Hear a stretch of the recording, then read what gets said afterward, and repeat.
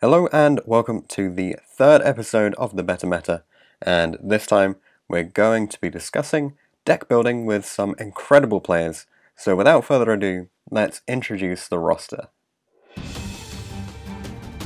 Ben. Uh, I'm Ben. I uh, have been on the channel a couple of times and I'm here. Apparently. Matt. Um, Hi, uh, I'm Matt. I heard you just uh, topped like, Yeah. one another regional. Oh, yeah. that. Priya. uh, I'm Priyan, and I'm the guy who just can't stop playing Burning Abyss for some reason. Uh, I, I have issues. Very, a lot of issues. Tim. Um, Tim Cox. I don't know. That's Simple. Enough said. I, I occasionally play Yu-Gi-Oh. Tom. Yeah, I'm Tom Paine. Uh, I'm Joe, and I run the channel. Everyone who is in this chat has been invited in because you've all got a lot of experience with playing the game, with building decks, and taking them to competitive events, and then doing extremely well with them, let's be honest. Um, so, the aim of today's discussion is to try and sort of filter down to what it means to build a deck from a competitive standpoint. Uh, so, my first question is why would you build a new deck? It's it's got to be like fun and interactive. That that's that's my that's my personal opinion. So like, um, it's got to have like cards that you know work together and do uh, and sort of do things like do like sort of very fun combos with perhaps existing cards and yeah Sure. it's it's got to it's got to have that element of fun to it because that's what that's what we that's what you know we should be playing this game for it should be playing for fun in it Yeah. I, I don't know if anyone wants to add to that I, I think the reason to build a deck from a new set or a new deck is if it is just substantially better than the previous decks that were in the format. yeah. So, like, if, for example, there is a better combo deck, the better combo deck is generally always just better than every other deck in the format because it can do more. Yeah, It's normally true. It's also, coming back to Priyan's point, it's probably more fun because you're doing quite a lot with your turns. I mean, if you have something new, then other people don't know what it is. Yeah, That's it's pretty- big advantage. Yeah, Other people like don't know and aren't prepared for it. That's obviously like because I mean, you saw that Prank Kids won a YCS, right? Yeah. Um, and they're clearly not a good enough deck to No. win a YCS, but no one knew what they did, and no one was in any way prepared for it. yeah. So- it was- To There's build been a a lot new of deck. examples of that though. Like YCS New Jersey, uh, we all played the, or like basically all the Europeans that top played the Trickstar deck. Yeah. The Trickstar Sky Striker deck. It was the first YCS of you know that format. Sky Striker was predicted to be, you know, pure Sky Striker was predicted to be the best deck. Trickstar Sky Striker had a very good matchup for that event. But after that event, the Trickstar deck just got substantially worse, and Goki became the absolute pick. Yeah, it's uh, similar to YCS Bochum when uh, World Chalice won it. Uh, It'd been out for a while, everyone knew what it did, but no one expected it, no one prepared for it, and then it just took the event by storm. So, fun, competitive ability, and the fact that nobody really knows. They're sort of our three key takeaways from this then. Uh, Well, being know, knowing it and, and being prepared are different things as well. Yeah. you might be aware of it, but even if you know it, you might not think there's enough of it to have a side deck for it. So either people are not gonna be prepared, or they're not gonna know. Yeah. It also Um, depends like how in the know you are about events. So like say you know, for example, what a certain team like is playing, you can predict for that because it's like at the end of the day you're playing against the players, not necessarily against the decks. So it gets to a certain stage in the tournament where your success is based upon who you're playing against. If you can expect a lot of people from one team to be a large portion of uh, the top card or exos, and you intend Yeah. to be in the same position. Then you and say for example, you like you have some inside information, you know they're all playing one deck. It means you can prepare your matchup for those players to have a better chance of winning the tournament. Yeah, yeah, definitely. There, people often talk about um, like building a deck to top versus building a deck to win. Yeah. I mean, again, I'll just use the example of like Prank Kids.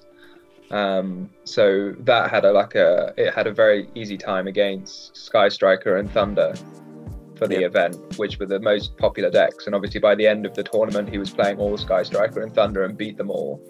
But he played, yeah, I you know he during against the combo deck, they just had absolutely no chance. So Yeah. Yeah, um, if you think more your likely to play in the deck top has cut. a significant edge over the format or what the majority will play.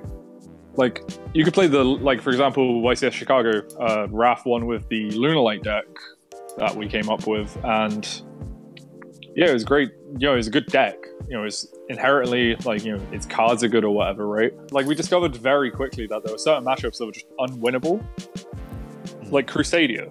You just mm-hmm. lost to Crusadia because because of the kaiju's and they'd make you start and it was just impossible. So like, I think at some point that weekend we all lost to a Crusadia variant of some description.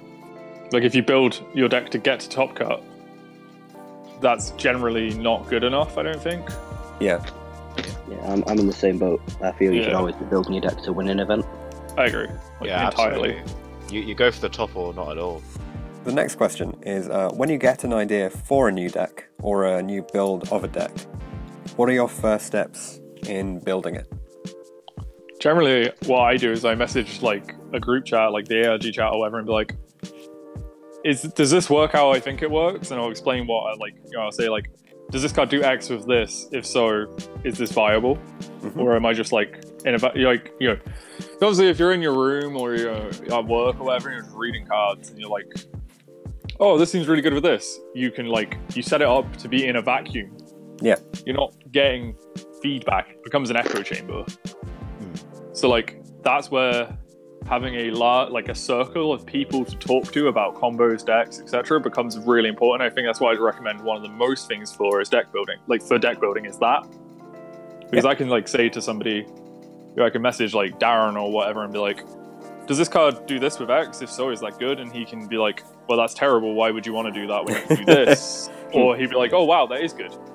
Not necessarily like it's, it's ideally yes you, you should be talk, you probably want to talk to like really really experienced players but even if it's like just people in Yeah, your sort of local good, cir- in your local circle who have just like who maybe have experience in the strategy Hmm. um, or even like even just like a Facebook group honestly like if, if Yeah. there's uh, for instance I'm part of this uh, like burning a bit burning abyss like theory group Yeah. uh, and like one one idea that really sort of took off was when one one guy one guy mentioned uh, Goki Pole, and I think I've, I I think I've talked about this before, like Goki Pole and Burning Abyss.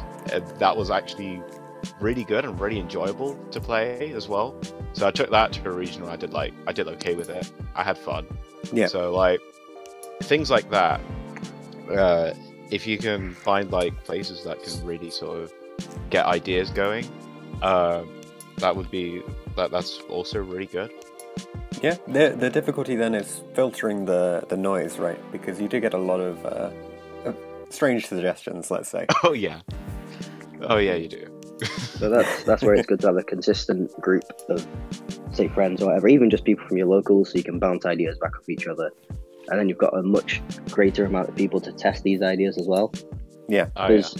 Even if an idea looks bad on paper, it might turn out to be good. Probably won't, but there is that small possibility. So, like like um like you said, just testing on Dual Book or whatever, that's a, a good idea just to just to test the waters a bit. Sure, yeah. So once you have this sort of concept of a, a new idea or a build that you're going to put together, um, how easy is it to determine which cards are entirely necessary? Because you might start building it from a concept and then realize that actually the cards you put together in, in the initial instance, they're not the, the best fit versus the meta or versus the the contradictions that your, your circle po- pops up.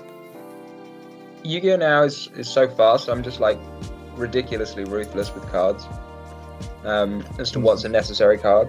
Mhm. Um, so I don't know if everyone else has this opinion, but it's basically like if it's not a starter card or it's not essential to the combo or it's not in your extra deck, then it's gone, right?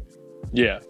You start with that and then you you decide what else you want to do. Yeah. Um, yeah, I mean, if there's if there's nothing else that is a starter card or doesn't add to your combo, then then you then you have space for other stuff. But that that's how I sort of start every deck. Yeah. Yeah. effectively, like you look at the deck, like for like example, Salamangreat, you always want to have Gazelle in your. So like you play as many copies of Gazelle as possible, like pseudo copies. Like, then what's the next thing you want to play? Spinny, right? So you play like, how many spinnies do you want? Do you ever want a multi drawer, which is obviously like a math thing? Then it becomes like you weigh up consistency and power versus like, you know, garnets, bricks, whatever, right? A website I recommend for like deck building, um, maybe some of you guys have used it, you've probably heard of it, is StatTrak. I, I think there's like a more modern thing called YGeoParty, but it's basically just hy- ge- hypergeometric distribution. Yeah, I, I normally use Yu-Gi-Oh! Party, but yeah, um, anything like that is really, really key for just checking before you actually go into games the the ability of your deck because you won't be able to get the same understanding from playing like 50 games or something. I also think that there's a reasonable difference between like deck building in a combo deck and no. I mean, I was basically talking about a combo deck because almost Yeah. all Yu-Gi-Oh decks are combo decks, but there are now, you know, control decks too. Yeah. Um, and that you probably require a bit more experience and testing in order to figure out, you know, what's good against other decks. Because if you're playing a defensive card, it's only for use against other decks rather than yourself. Yeah, and then it's sort of Um, about coverage as well as uh, power. Yeah. So then it's a sort of practice thing. Um, so I guess when you play, you know, a deck like Sky Striker or Salamangreat, your engine is sort of more minimal. Yeah. Um, but you know, there's a sort of marked difference to me between a a combo deck and a non-combo deck, I guess, where you would play other defensive cards. Yeah.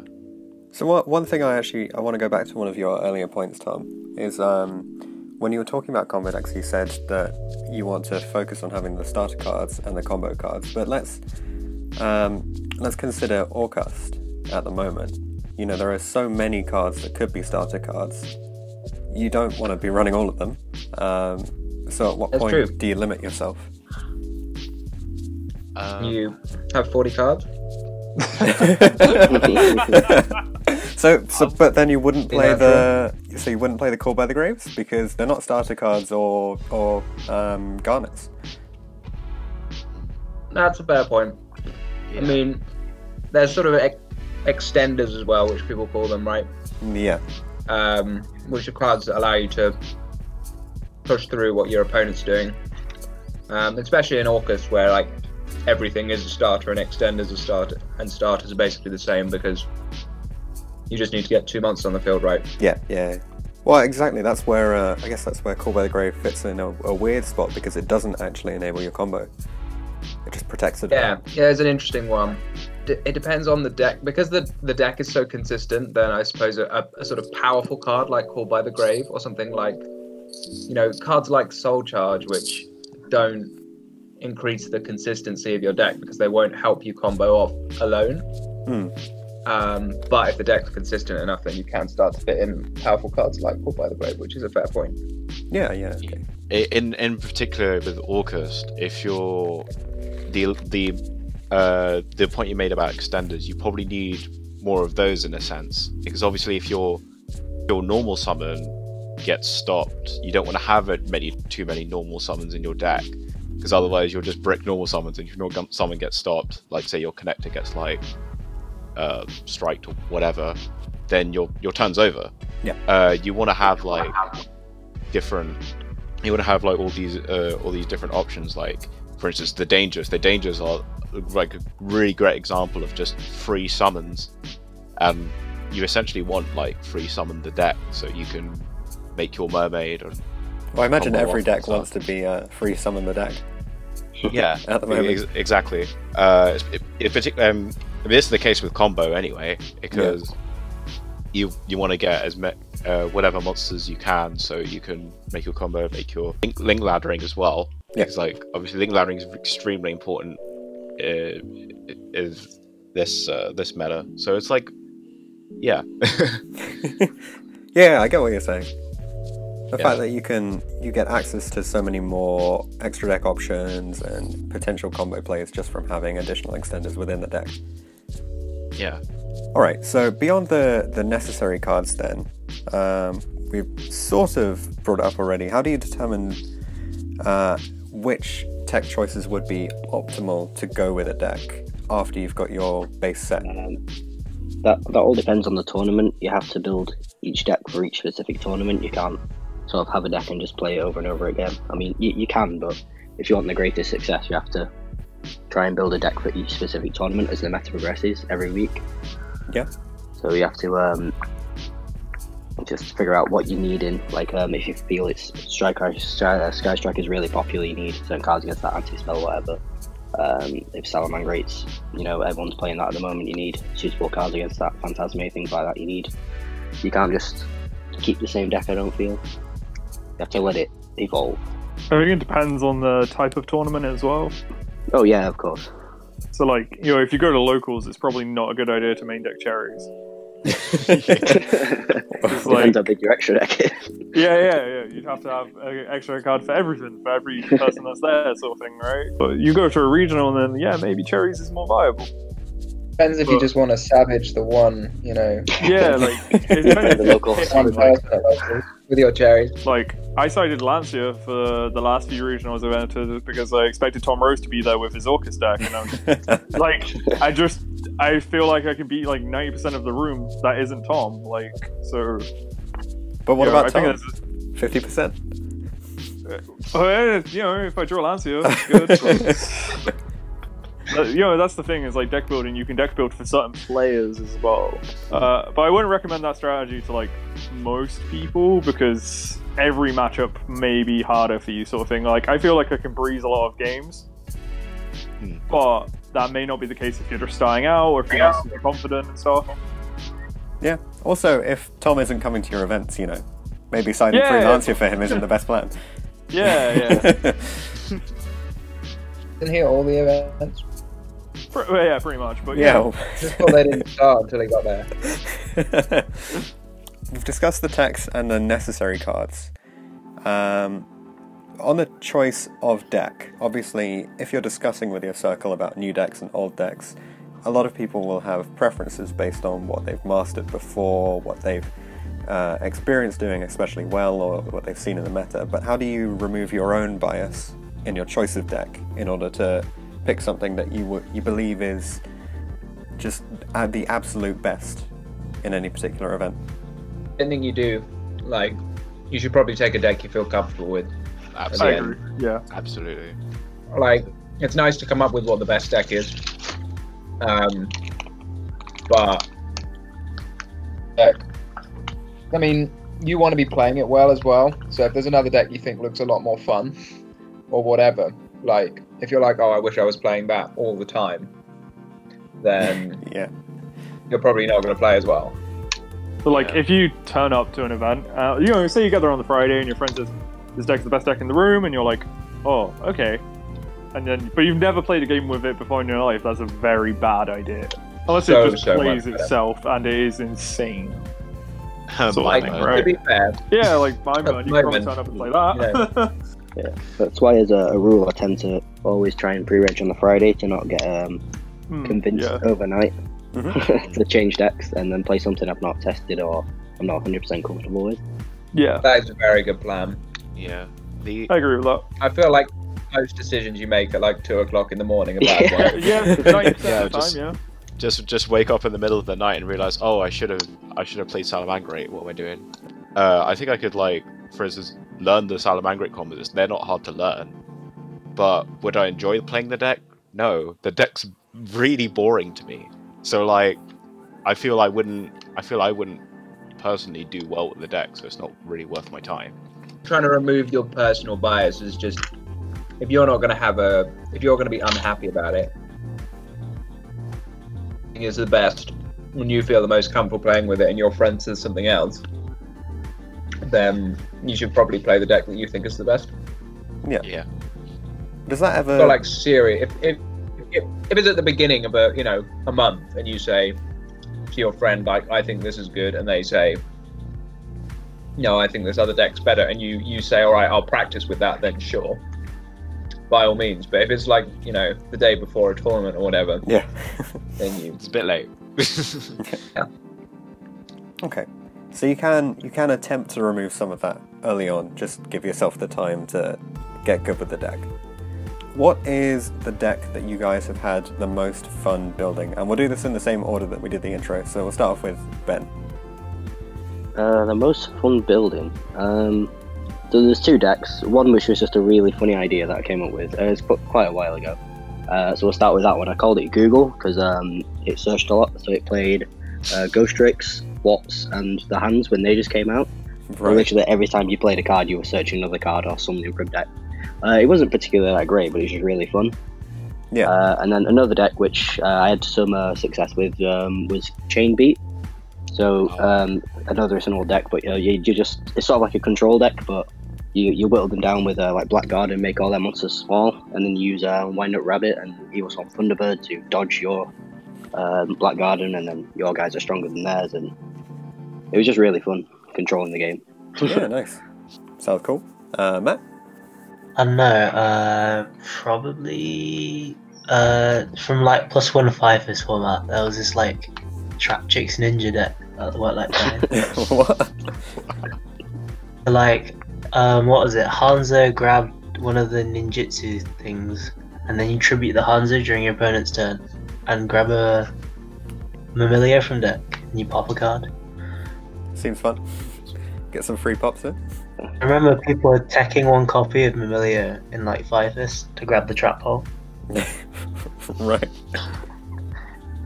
Wow. Priyan, what's your most fun Uh, deck? It's, it's pretty much which type of Burning Abyss deck was my favorite um, well, at this point. So I think that's probably um, when I played Speedroid Burning Abyss. Like, I'm not I'm not talking just Terrortops. It was like uh, like Terrortops, Taketomborg, uh, Triad Dice, and Speed Recoveries.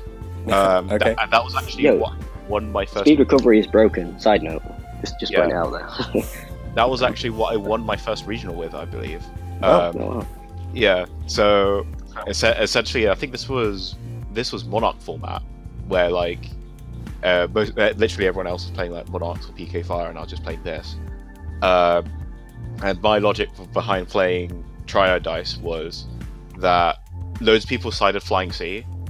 So uh, if they Flying Seed me, I'd either make Virgil or I also play Trish in my extra deck. So, so like when they Flying Seed me, tur- uh, Flying Seed me on turn one, I'd just make Trish, and they'd have they'd have they'd start with four cards in hand, and that was actually really Mm. funny. it seems uh, pretty I fun. think I think you might have Trishlered one of my mates in Top Cut of Nats that year.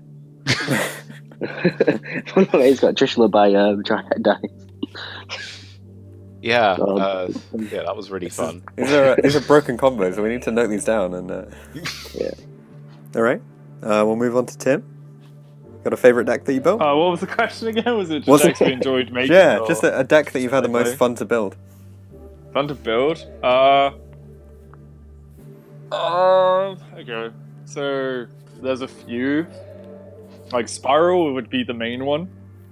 Yeah. Oh boy. Spiral. yeah, Spiral. What?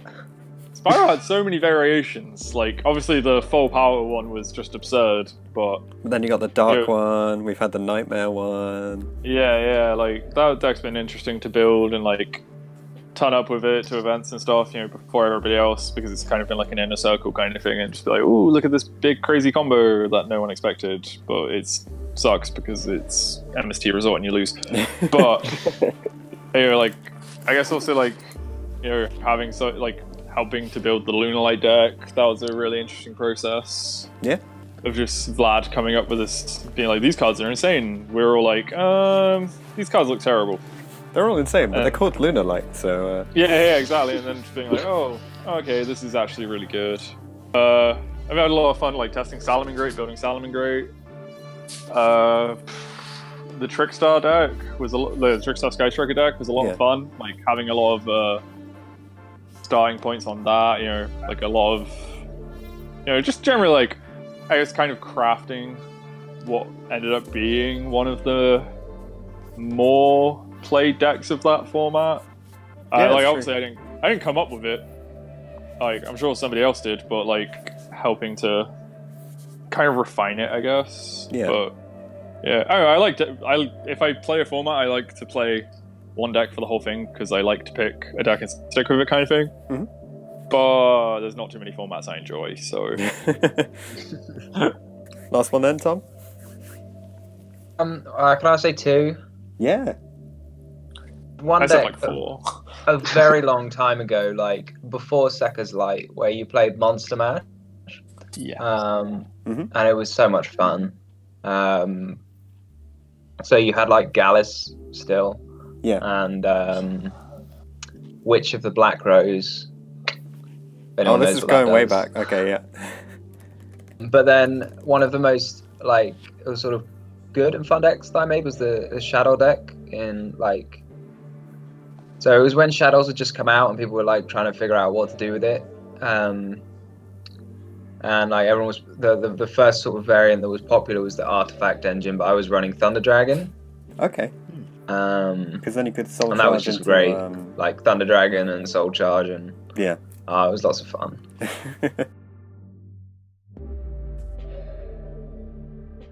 everyone We've got some very exciting news for everyone that probably no one will think is in any way interesting. Magic the Gathering is like a computationally complete problem. There are certain class of algorithms Okay.